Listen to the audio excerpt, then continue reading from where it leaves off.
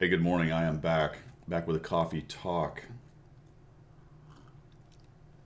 Got my coffee, more Keurig. I'm gonna have to make some good coffee here in the next coffee talk or two.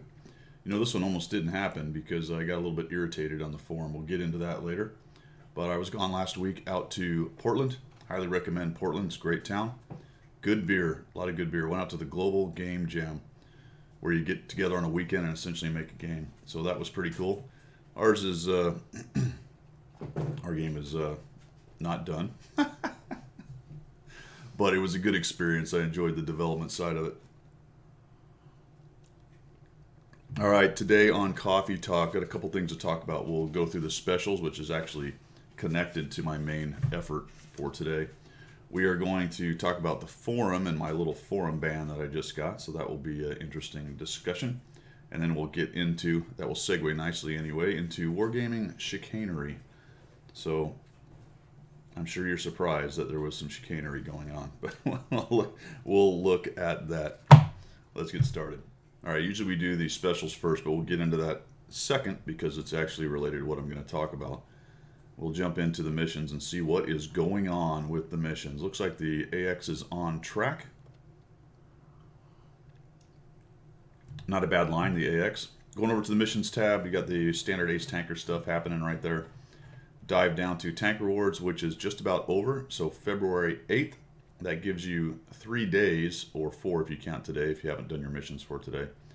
And those are the tier 8, what, tier, uh, here it is, 4 to 6, 7 and 8, 9 and 10, give you 3 points total.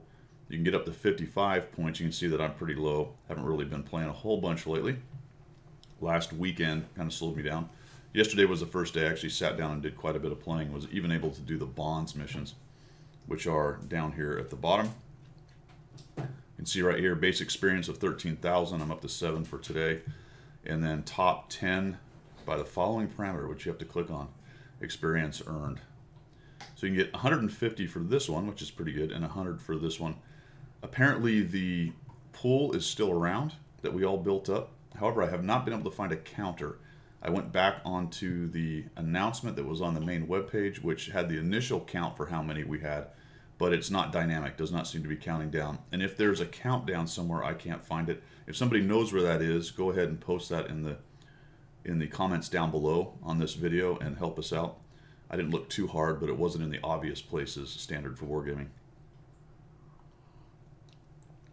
But I managed that one yesterday and uh, got up. You can see I got 2,500 bonds total ever. So not really hunting the bonds. That's a whole nother subject. And then down here, there's a couple one-off missions, which will get you some reserves going on. This one will stop in 21 hours. So a couple of those things still going on. This says it goes through 29 January. Interesting. 22 to 29, but it's still going. That must have been an estimate or maybe that was the initial bonds. That might have been the initial bonds gathering part of the mission right there, and now they're just being doled out until they go away. So we got that going on. All right, moving over to the specials, you can see that I've got these specials called up. You can see the 50T is the last chance. that is going to figure heavily into the reason I was forum banned. We'll get into that in just a minute. KV-122 War Chest, several versions of the KV-122. Down here, the Even 90 is out, which is a French Tier 8 premium light tank. Remember, they've got the 1357, which is a Tier 7. They don't have a Tier 8, now they do. So they actually have two premium light tanks, which is interesting, at least at higher tiers kind of thing. And some various other stuff going on. So that is all the specials of note. So the 50T, let's get into that. Okay, so getting a forum ban in World Tanks on the official forums. I'll have comments on the official forums in just a minute, but let's talk about what happened here.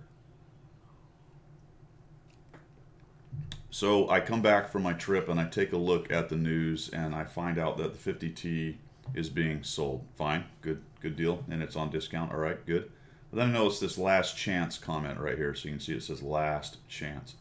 And if you go over to their news page on it, says, feel like you've seen the 50T before? That's because it's back on sale for Groundhog Day. But there's a catch. There's a catch, guys. When update 9.22 is released, the 50T will be retired. Huh. So this is your last chance to purchase the Tier 8 heavy tank. And then some other stuff about it. The last chance, right? The hard sell. We're removing a tank. It'll never come back. Where have we heard this before? Why do they have to say it that way? Why can't they just say, hey, we're removing it. We don't know if it'll be back. Because clearly, clearly the track record is nearly every tank is going to come back, minus a couple really small, odd ones, other than the Type 59. And even the Type 59 came back once after they removed it. That's how long I've been around. So, speaking of the forum, I see all this and I think, you know what? Kind of had it with this. So I typed this in. Now, to be fair, when I typed this in, I realized that I probably was going to get a warning point. I hoped I wouldn't, but I kind of knew I probably would. So when you trumpet that something like the 50T is the last chance, not one person believes you now. It's so bleeding idiotic at this point, why do you even say it? That's my point earlier. You've brought so many things back that you supposedly promised would never be found again. What is the reason reason for saying things like that? Rhetorical question, obviously. The reason is the hard sell.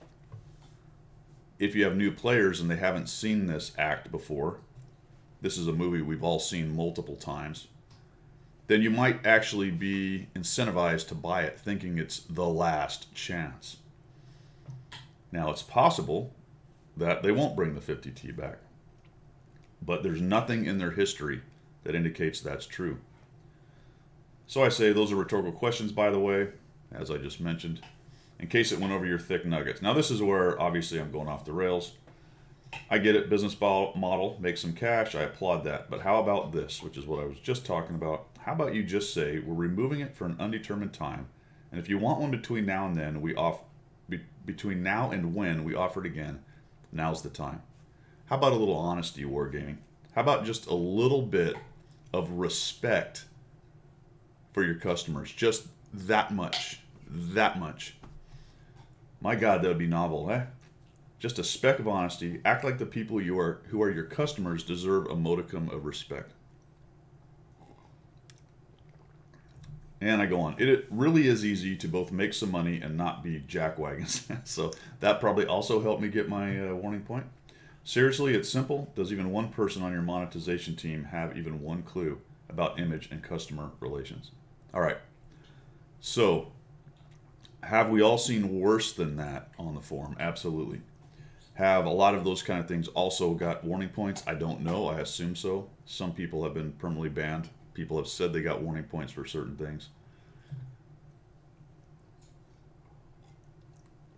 But that is not the point. I'm not here crying about the warning point or the, the temporary forum ban. But it it has caused me to, to not participate on the forum anymore. That's my wow wow moment, right? So, but that's a personal decision uh, on my part, just based on the capricious and relatively random mods moderation on that forum. So there are people who get away with things over and over and over again. Non-constructive posts, insults, all that kind of stuff, and they're still around. Still, that's a wow wow thing. Whatever, they can they can moderate their forum however they want.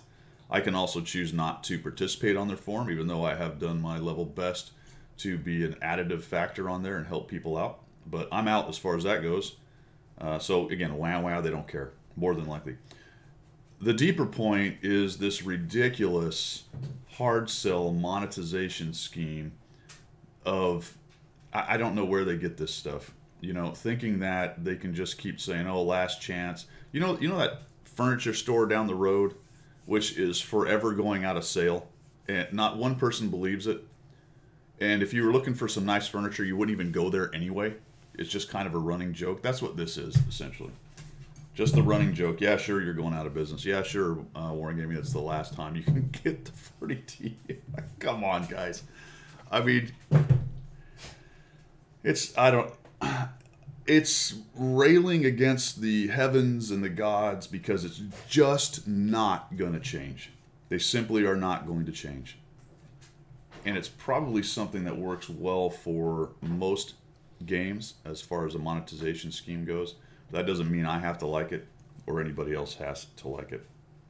So I thought that was, well, self serving. It was interesting to me. Hopefully, it was also interesting to you.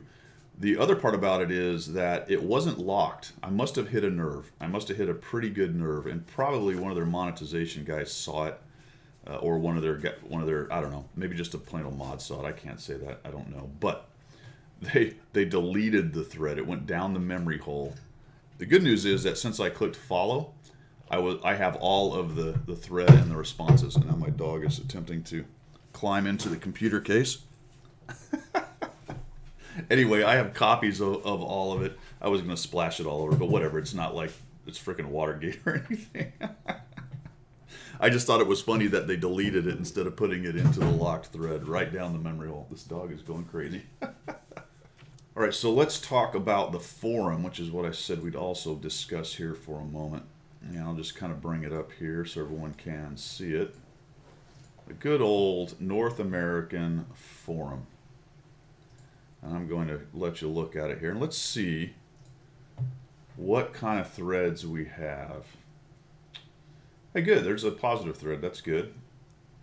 Uh, why you should hate high-tier gameplay. Let's see. Hey, effing map, take it out. Okay, that's good. That's useful. That, that's helpful. The the payment wall, the payment wall. That's probably a, a useful. Uh, okay, yeah, a payment wall. Hey, if wargaming stops you, then it's no fair and you can't pay. Okay, that's a that's a good thread, guys. Yeah, keep that one around. Excellent, excellent. Uh, the nine hundred thousandth skill matchmaker thread. That's that's a good one. That's good. Oh, there's aimbots. They got to go. Oh, oh no. Oh no. Uh, let's see. Tickets for unsportsmanlike conduct. Okay, well, that's maybe decent. Um, fix the aiming over the hill bug. All right, that's all right. What else we got? What else we got? Oh, did they lower credit earning again? Yeah, the stealth. The, okay, so you see where I'm going with this, right? I mean, come on. This is this is a cesspool. So the other thing about the forum that I find fascinating endlessly is that wargaming employees will roll over to Reddit and engage every day on multiple threads. They are nowhere to be seen on the official forums. It's crickets. Every now and again, on things like some of these help threads or news threads, some things will come out. This is supposed to be news and information right here, right? What do we got? Uh, let's see. Huh. Well, started. Started. The last time they put news and information out was January 18th. And then, uh, at least as far as a top thread that anyone's paying attention, November 30th. There's another January 16th. November 29th. November, December, November, November. You get my point? All right. Now, the last thing on chicanery, the last thing on chicanery, and this was talking to a friend of mine. This is the old friend of mine. I don't have any data on it. Where I do have the forum post, and I do understand why they said I broke the rules. I don't really understand what they do as far as their moderation goes because it's completely random and capricious. However, this one is the old friend thing, but I found it fascinating because we've been talking about, or I've been thinking about, especially those last two weeks with the forum warning point and the this temporary ban and the way the wargaming employees will roll over to Reddit all day long, but they won't be anywhere on the official forums. And we're just talking about you know customer service, monetization, how how wargaming runs the uh, the show here. I found this one very interesting because so the guy was on I think Redshire. He was over by the big rock on the I think it's on the east side over there and he's getting up to the corner first, and he's doing a little side scraping and trying to fight. And a tank comes up behind him and pushes him right out into front of everybody. Of course, he does what he's not supposed to do. He turns and starts to, to shoot the guy, and they get into it. And they're Jack John on the on the comms and the whole nine yards. And the guy's telling him he's going to get him banned and report him. And my bud says, go ahead, you'll get banned too because you know you came in, pushed me out first, and we both did what we're not supposed to be doing. So go for it. no word of a lie. I, I, I, say no word of a lie. He told me this. I have no reason to think that he is full. He's not given to hyperbole. He's not given to making stuff up. He's a good player. Uh, he understands the whole thing. He doesn't have a tinfoil hat on, all that kind of thing. But what he told me is 10 minutes later, he was banned. Think about that. So this guy, either either one of several things happening.